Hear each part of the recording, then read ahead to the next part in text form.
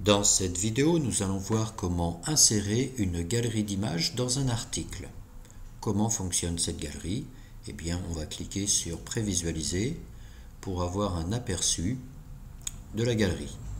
Une galerie, c'est un ensemble d'images qui sont côte à côte, ici disposées en trois colonnes.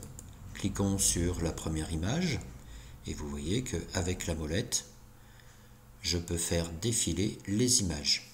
Sans ça, je clique sur Suivant, Suivant. Comment peut-on créer cette galerie? Cliquons ici, je vais la supprimer. Pour cliquer et créer une galerie, nous allons ajouter un média. On clique sur Créer une galerie. Ensuite, on choisit les différentes images qui vont composer la galerie. Par exemple, ici, je vais prendre la marmotte, le cheval, le canard, des pingouins et un petit panda.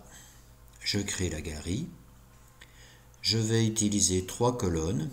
Ici, je vais utiliser la page du fichier média. Trois colonnes, un ordre aléatoire si je veux. Ici, je choisis miniature, mais j'ai le choix entre plusieurs tailles.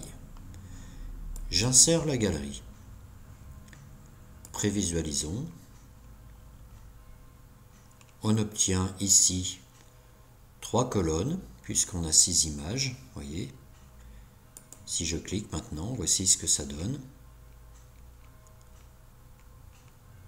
Mes images défilent toutes seules. Quand je clique, voyez, ça ferme la galerie.